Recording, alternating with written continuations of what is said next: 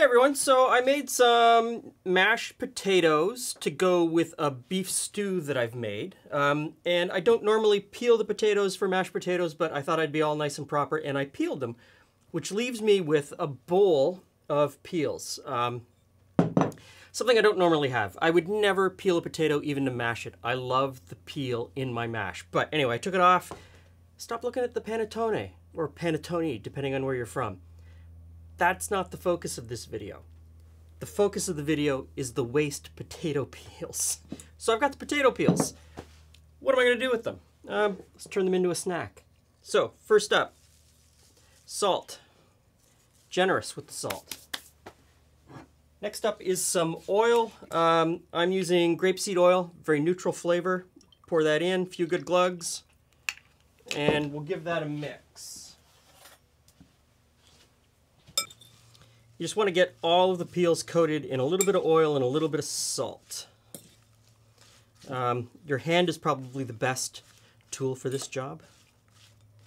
That's good. Good and coated. Okay, so now, couldn't be simpler. Couldn't be simpler.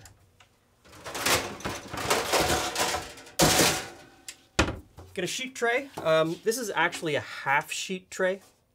Um, even though everybody calls it a sheet tray, it's a half sheet. A full sheet is twice this size, uh, and it doesn't fit in most home ovens. That's why, anyway, that's an aside. You get a sheet tray, and you pour that out. Now you could put down, um, if you've got a Silpat, you can put a Silpat down. If you want to put down some parchment paper, put down parchment paper if you're afraid that it's going to burn on. Um, I just clean them. I'm not really all that worried. Spread it out pretty evenly. You don't want them bunched up too much. I mean, you don't have to be super meticulous about it. Just sort of get it as best you can. And then into a super hot oven. So this is what you did with the potato skins, I see. This is what, these are not even skins, Julie. These are peel. How is that different than a skin? Well, I peeled the potatoes to make mashed potatoes. Okay, but you know. Yeah. Okay. Um, great little snack. Huh. Yeah. so this would be great if you've got a big family meal and you've got all those potato peels. It's like the pre. Yeah, bake them up and stick them on the table beforehand. Everyone will love them. You would spice them with a lot of different stuff Oh, too. yeah. You put hot chili on it.